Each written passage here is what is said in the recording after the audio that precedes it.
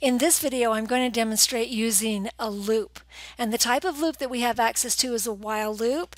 And so a while loop goes as long as a condition is true. Now, if we want to do something a certain number of times, we have to create our own counters. And that's what I'm going to do. So I'm going to declare a variable that is a counter. And I'm just going to say it's a counter. And it's of type int and I'm going to have a max, so the quantity that I really want to do. So I'll have another variable at quantity, and it's also an int. And then before I start my while, I'm going to set the value of the counter equal to zero.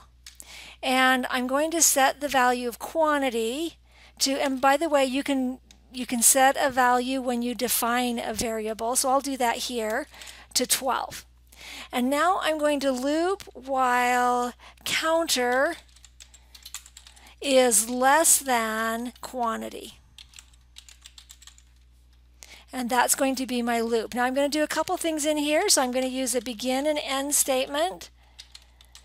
And then inside here, I can choose the things that I'm going to do. So I'm going to simply print and let's do the counter is. And let's just record the value of it and print it out. Now this is a number, so we have to cast it as a varchar. Then I need to increment the counter. This is actually a big deal. If you forget to do this, you get an infinite loop, and you can do that. Real easy to get an infinite loop here. So we want counter to equal counter plus 1. All right, and that'll increment our counter. Oh, we have to set it. You always have to use the keyword set to give a variable a value. All right, let's go ahead and run it and see what we get. And there we have a loop that happened 12 times from 0 to 11. Now this is a zero based counter.